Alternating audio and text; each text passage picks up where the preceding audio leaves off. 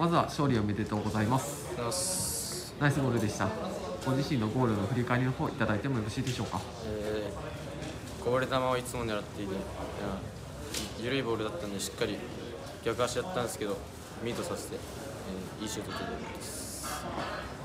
ありがとうございます